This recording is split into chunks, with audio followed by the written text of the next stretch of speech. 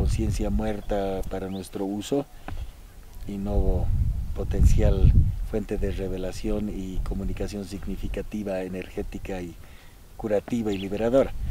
Entonces, eh, claro, ampliamos exponencialmente los mundos, el mundo y los mundos con los que podemos tener experiencias, comunicaciones y diversiones.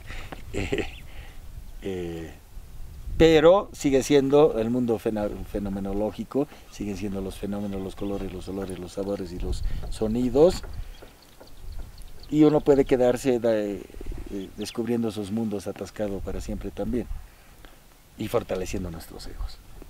Entonces, como todo, ¿no? O sea, igual en cualquier camino, en el, budismo, en el chamánico, en el tántrico, en el psiquismo, ¿no? Dicen, el camino hacia Dios vas adquiriendo poderes, pero si los empiezas a usar, eh, ahí te quedaste.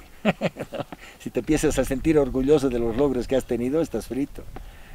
Eh, la humildad es clave.